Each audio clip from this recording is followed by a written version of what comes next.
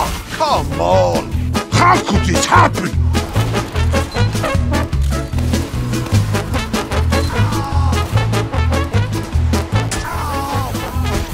Go to hell and tell the devil I'm coming for him next!